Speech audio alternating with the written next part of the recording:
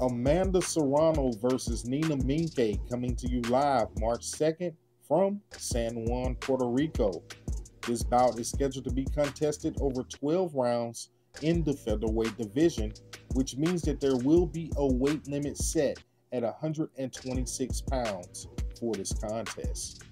Amanda Serrano will make her way into the ring with a record of 46 wins, 2 defeats, and 1 draw, with 30 of her wins coming by way of knockout.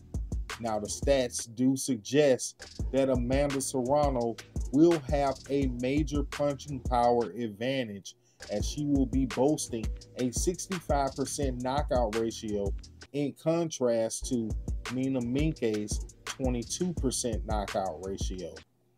Nina Meinke will make her way into the ring with a record of 18 wins, 3 defeats, with 4 of her wins coming by way of knockout.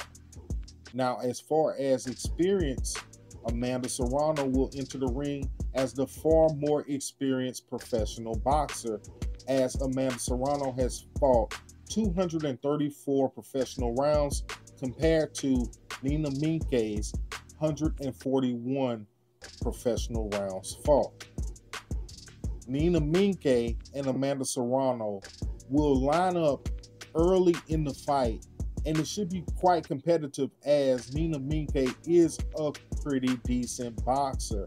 But I expect the cream to rise to the top as usual, and I do not see this fight making it to the final bell. And with that being said, here at Rounds Boxing Club, we're taking Amanda Serrano to defeat Nina Meinke. And we'll even make a bold prediction and we'll say that Amanda Serrano will stop Nina Meinke in between rounds 7 and 10. Drop down in the comment section and let me know what you guys think about this fight and how you see it playing out. Also, you can give us a follow over on Instagram and TikTok at Rounds Boxing Club. And as always, like, subscribe, protect yourself at all times. We out. Peace.